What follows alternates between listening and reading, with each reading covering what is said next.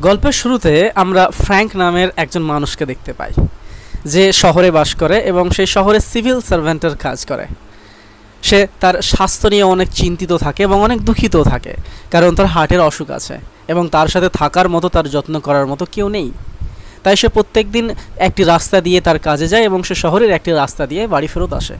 রাস্তার মোড়েই আছে একটি বার। সে বারে বাইরে থেকে সে একটি মেয়েকে দেখে তার ভীষণ পছন্দ। কিন্তু তাকে গিয়ে কখনো সে বলতে পারেনি এবং সে জানে মেয়েটি একটি বাজারি মেয়ে। হঠাৎ করেই ফ্র্যাঙ্কের হাতে ফাইভ পয়েন্ট ফোর মিলিয়ন ডলারের একটি লটারি লেগে যায়। তখন ফ্র্যাঙ্ক বুঝে উঠতে পারে না এই টাকা সে কোথায় খরচ করবে। তখন ফ্র্যাঙ্ক রাস্তা দিয়ে আসতেছে এবারে মেয়েটির কাছে সাহস করে একদিন চলে যায় এবং মেয়েটিকে জিজ্ঞেস করে যে তার প্রত্যেক দিনের ইনকাম কত। ফ্র্যাঙ্ক তখন তাকে একদিন দুদিনের জন্য না, এক মাসের জন্য তার সাথে থাকার রিকোয়েস্ট করে এবং তাকে বলে, এক লাখ ডলার দেবে। মেয়েটির কাছে এই টাকাটি কিন্তু অনেক বেশি, তাই মেয়েটি এত বেশি টাকা দেখে না করতে না পারে ফ্র্যাঙ্কের সাথে এক মাস থাকতে রাজি হয়ে যায়। মেয়েটি কিন্তু তাকে কিছু কন্ডিশন দেয় যে তাকে বাড়িতে কোনো রকম ঝামেলা ঝঞ্ঝাটে রাখলে কিন্তু চলবে না এবং তাকে সম্মানের সাথে রাখতে হবে। ফ্র্যাঙ্ক রাজি হয়ে যায় এবং তাকে তার বাড়িতে নিয়ে যায়। ফ্র্যাঙ্ক ড্যানিলাকে বাড়ি নিয়ে আসতে গিয়ে সিঁড়িতেই পড়ে যায়। এর কারণ আমরা জানি ড্যানিলা এমনিতেও হার্টের পেশেন্ট এবং এত সুন্দর মেয়ের সাথে সে আগে কখনো থাকেনি, এত সুন্দর মেয়েকে পাশে পেয়ে তার স্পন্দন অনেক বেড়ে যায় এবং সে পড়ে যায়। তখন ড্যানিলা খুব তাড়াতাড়ি একটি ডাক্তার ডেকে আনে এবং তার চিকিৎসা করায়। চিকিৎসা করার পর ডাক্তার তার হৃদস্পন্দনকে অনেক ঠিক করে চলে যায় এবং ড্যানিলা এবং ফ্র্যাঙ্ক তখন বাড়িতে একা। ড্যানিলা তখন ফ্র্যাঙ্কের বাড়িটি ঘুরে দেখে এবং অনেক পরিষ্কার পরিচ্ছন্ন দেখে তার নিজের বাড়ির মতনই মনে হয়। এবং সে সোফাতে বসে তার শারীরিক কাঠামো দেখিয়ে তাকে নিজের দিকে আকর্ষণ করার চেষ্টা করে এবং ফ্র্যাঙ্ক তার উপরে ক্ষুধার্থ বাঘের মতো ঝাঁপিয়ে পড়ে এবং তারা প্রথমবার ইন্টিমেট হয়। পরের দিন সকালে যখন ফ্র্যাঙ্ক তার চোখ খুলে ঘুম থেকে উঠে, সে কিন্তু ড্যানিলাকে তার পাশে দেখতে পায় না। অ্যাকচুয়ালি আমরা এখানে দেখতে পাই ড্যানিলা ফ্র্যাঙ্ককে ইমপ্রেস করার জন্য তার জন্য নাস্তা বানাচ্ছে। এবং নাস্তা বানাবার, নাস্তা খাবার পরে যখন ফ্র্যাঙ্ক তার অফিসে চলে যাচ্ছে, তখন তাকে অফিসে যেতে দিচ্ছে না। কারণ ড্যানিলা জানে তার কাছে এমনিতেও অনেক টাকা আছে। সে আবার তার পোশাক খুলে তার শারীরিক কাঠামোর ভঙ্গি দেখে তাকে আকর্ষণ করার চেষ্টা করে। কিন্তু ফ্র্যাঙ্কের সাথে তার ঝামেলা হয়ে যায়, কারণ ফ্র্যাঙ্ক সেখানে অফিস যেতে চায়। এই ঝামেলার কারণে সে যখন অফিস যেতে চাচ্ছিল, সিঁড়িতে সে আবার পড়ে যায়। ড্যানিলা তাকে আবার তুলে এনে, এবার তার একটি পারিবারিক ডাক্তারকে ডেকে আনা হয়। ডাক্তারটির নাম অ্যান্দ্রে। অ্যান্দ্রে তো এসে অবাক কারণে এরকম আগে কখনো এত সুন্দর মেয়েকে ফ্র্যাঙ্কের সাথে সে দেখেনি এবং ড্যানিলার সৌন্দর্য দেখে সে হব্তবাক এরপরে সে ড্যানিলাকে জিজ্ঞেস করে ডাইরেক্ট যে, তুমি ওর সাথে কীভাবে আছো? তখন ড্যানিলা তাকে সত্যি কথাই বলে যে, সে একটি বাজারি মেয়ে, টাকা দিয়েছে, তাই এখানে আছে, কিন্তু সে এ তার জীবন বদলিয়ে এর সাথেই থাকতে চায় সেবা করতে চায়। তখন অ্যান্দ্রে ফ্র্যাঙ্কের হার্টবিট কমিয়ে সমস্ত কিছু চেক করে চলে যাওয়ার সময় বলে যে, তোমার এরকম একটি বাজারে মেয়ের উপরে পয়সা খরচ করা বেশি উচিত নয়। কিন্তু আমরা অন্যদিকে ফ্র্যাঙ্কে অনেক আনন্দিত এবং অনেক খুশি দেখি ড্যানিলাকে পেয়ে। তারা দুজনে সমুদ্রের ধারে বিচে বেড়াতে যায়, অনেক আনন্দ করে। অর্থাৎ ফ্র্যাঙ্কের যে হার্টের অসুখ, সে অসুখ সম্পর্কে সে যেন ভুলেই গেছে, সে অনেক হাসি খুশি এবং আনন্দে আত্মহারা হয়ে আছে। এবং মাঝে সাঝেই তার ফ্যামিলি ডাক্তার অ্যান্ড্রিও তাদের বাড়িতে আসে এবং না ডেকেই আসে এবং তার চিকিৎসা করে যায়। তখন হঠাৎ অ্যান্ড্রিও তার সাধারণ কথা বলে ওঠে যে সে পাশেই থাকে। সে যেখানে থাকে সেখানে একটি মেয়ে ক্যান্সারে আক্রান্ত এবং তার চিকিৎসা সে করছে। তাই পাশেই যেহেতু এখানে ফ্র্যাঙ্ক আছে, সে ফ্র্যাঙ্কেও চিকিৎসা করার জন্য সে বারবার এখানে আসে। এবং পরের দিন আমরা দেখতে পাই রাত্রেবেলাতে হঠাৎ ফ্র্যাঙ্ক তার ডাক্তার অ্যান্ড্রিওকে ফোন করে, কারণ ড্যানিলা অসুস্থ হয়ে পড়েছে এবং ড্যানিলার বারবার বমি হচ্ছে। তখন আমরা দেখি, অ্যান্দ্রে যখন তার বাড়ি থেকে ফেরত আসছে, তখন বিছানে বাই বলে আসছে। কিন্তু বিছানে কোনো রোগী বা সেই মেয়েটি কিন্তু ক্যান্সার আক্রান্ত মেয়েটি ছিল না। তার অর্থাৎ আমরা বুঝতে পারি যে তার কল্পনাতেই সেই ক্যান্সার আক্রান্ত মেয়েটি ছিল।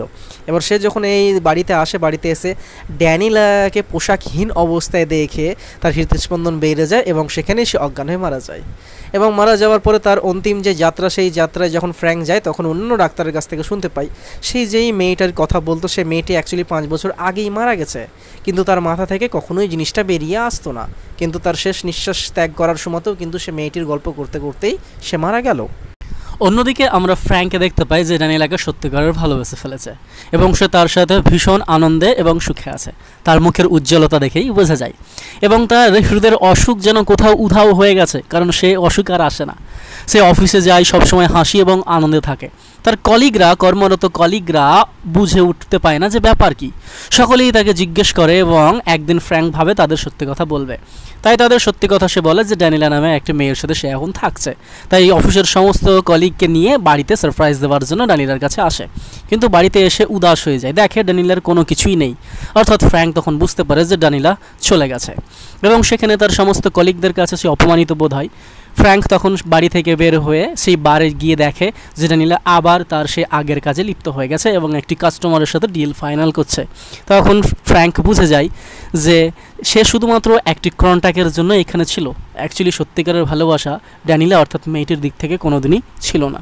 তাই সে উদাস এবং হতাশ হয়ে আবার চলে যায় একটি বারে এবং সেখানে ড্রিঙ্ক অর্ডার করে এবং ড্রিঙ্ক খেতে খেতে তার লটারির কথা বলে।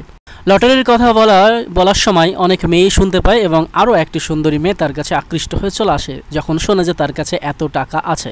বেচারা ফ্র্যাঙ্কের মনে তো এখনও ডানিলিয়ায় বসে আছে। তাই এই সুন্দরী মেয়েটির কথোপকথন এবং তার সাথে গা ঘেঁষা ওর খুব একটা ভালো লাগে না। তখন সে শেষবার দেখা করবার জন্য আবার ড্যানিলার কাছে যায় এবং ড্যানিলাকে মনের সমস্ত কথা বলে যে, তুমি এমন একটি মেয়ে যাকে আমি অনেক ভালোবাসি এবং তুমি আমার মনের সেই খালি স্থানকে পূর্ণ করতে পারো আর কেউ পারে না। তখন ড্যানিলা বলে যে, না, তোমার সাথে আমার থাকা সম্ভব না, কারণ আমার আরও অন্য ভবিষ্যৎ আছে। তোমার সাথে আমি থাকতে পারি না, তুমি এই মেয়েটির সাথে চলে যাও। এই কথার অবস্থায় ফ্র্যাঙ্কের আবার শরীর অসুস্থ হতে লাগে, তখন ডানিলা তাকে ডাক্তারের কাছে নিয়ে যায় এবং ডাক্তারের কাছে নিয়ে যাওয়ার সময় আমরা এখানে ডানিলার হাজব্যান্ডকে দেখতে পাই। যে ফ্র্যাঙ্কে ধুমকি দেয় যে, তুমি যদি আমার ওয়াইফকে বেশি বিরক্ত করেছ, তবে তোমাকে আমি মেরে ফেলব। এরপরে ডাক্তারের চিকিৎসা হয়ে যাওয়ার পর ডানিলা ফ্র্যাঙ্কে বাড়ি রাখতে আসে এবং বাড়ি রাখতে এসে তারা আবার দুজনে ভীষণভাবে ইন্টিমেট হয়। এই দুজন ইন্টিমেট হওয়ার সময় ডানিলা ভীষণ আওয়াজ করায় পাশে থাকা প্রতিবেশী তার বাড়িতে আসে এবং বলে যে এরকম আওয়াজ যেন তারা না করে। তখন ড্যানিলা চলে আসে এবং ওই মেয়েটির সাথে ঝগড়া লাগিয়ে দেয় যে হ্যাঁ আমি আওয়াজ করছি তো তোর কি? তখন সেই প্রতিবেশী মেয়েটি ফ্র্যাঙ্কে বলে যে, এই বাজারি মেয়েটি তোকে ভালোবাসে না, দেখবি তোকে একদিন ঠিক ছেড়ে চলে যাবে। ড্যানিলা ফ্র্যাঙ্কে ভালোবাসে না।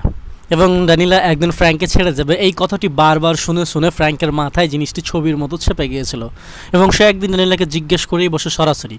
কিন্তু ডানিলাও তাকে মিথ্যা কথা বলে না। তার প্রশ্নের কোনো উত্তর দিতে না পেরে সে সত্যি কথাই বলে যে হ্যাঁ সে তাকে ভালোবাসে না। কিন্তু তার কেয়ারিং বিহেভিয়ার এবং তার যত্নে রাখা বিষয়টি ড্যানিলার ভীষণ পছন্দ হয়, তাই সে বারবার তার সাথে থাকতে আসে। এই কথা শোনার পর সে ফ্র্যাঙ্কে বলে যে, আমাকে পাওয়ার একটি রাস্তা আছে যে আমার হাজবেন্ডের সাথে তোমাকে ডিল করতে হবে। কারণ আমার হাজবেন্ডের আমার মতো আরও অনেক সুন্দর মেয়ে আছে।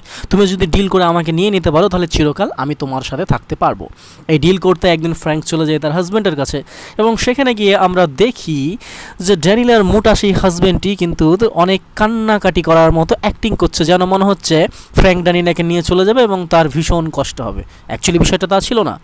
এখানে ড্যানিলার হাজব্যান্ড জানতো যে ফ্র্যাঙ্কের লটারি লেগেছে, তাই সেই লটারির টাকাগুলোকে সব কিছু নিজের আয়ত্তে আনার জন্যে এরা দুজনেই, অর্থাৎ ড্যানিলা এবং ড্যানিলার হাজব্যান্ডটি লেগেছিল ফ্র্যাঙ্কের পেছনে। এটি ফ্র্যাঙ্ক বুঝে যায় এবং ফ্র্যাঙ্ক ডানিলাকে না পছন্দ করে, না চুজ করে এখানে তার টাকাকেই বেছে নেয়। তা দেখে ডানিলার ভীষণ রাগ হয় এবং সে তার হাজব্যান্ডের সাথে সেখান থেকে চলে যায়। কিন্তু হাজব্যান্ডের সাথে চলে যাওয়ার হাজব্যান্ডের সাথে যখন ডানিলা থাকে তার, তখন কিন্তু তার ভালো লাগে না। কারণ ফ্র্যাঙ্কের সাথে থেকে ফ্র্যাঙ্কের কেয়ারিং বিহেভিয়ার ফ্র্যাঙ্কের ভালোবাসা এবং ফ্র্যাঙ্কের আদর যত্ন সে কিন্তু অভ্যস্ত হয়ে গেছে।